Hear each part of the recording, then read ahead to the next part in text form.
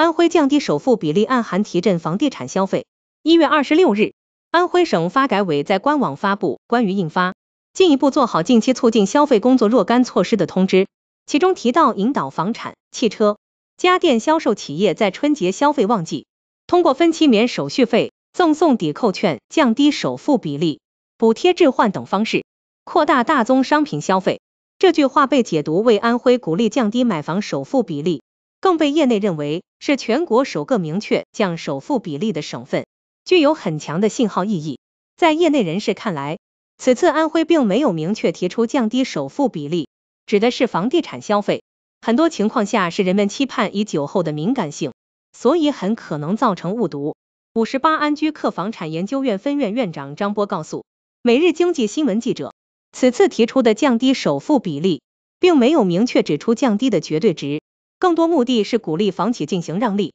优惠、促销，而不是真正让各城市降低首付比例。如果真的是降低首付比例，尤其是二套房降低首付比例，等于变相鼓励大家炒房。张波表示，这种做法不太可能，目前也没有政策明确如何操作。安徽楼市冷热不均十分明显。作为省会城市的合肥，去年十二月房价环比还能上涨百分之零点二，但像蚌埠之类的城市，房价环比下跌百分之零点二。某品牌房企安徽区域营销负责人士告诉记者，安徽一些热门城市的在售新盘，普遍要求首付比例均超过六成，一些热门项目甚至超过八成。以合肥为例，龙湖光年、蓝城滨河湾、中郡世界城等摇号盘，由于性价比较高。非刚需首付比例始终维持在八成，一些热盘中签率普遍很低，一些刚需项目购房者往往摇号半年也买不到一套房，一些项目通过提高首付比例，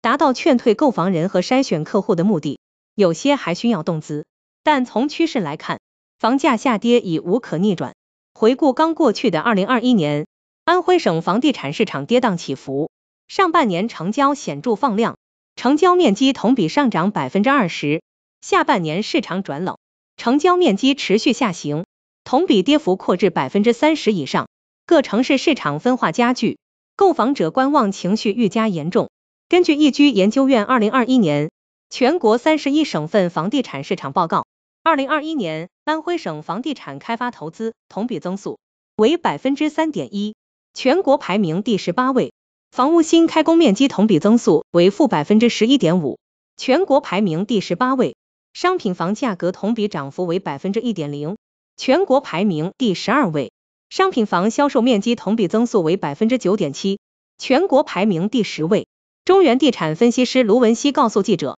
此次安徽的尺度可谓相当大了。金融杠杆是撬动楼市交易的手段，也是调控工具之一。每一次楼市活跃都是从金融端放松开始的。调控自然也需要用这一抓手来实现。如果降低首付比例，楼市交易一定会活跃。楼市调控基调是房住不炒，此举有踩红线的嫌疑。所以安徽政府呼吁降低买房首付比例，本质上是保障消费者合理的购房权益，化解市场需求结构性矛盾。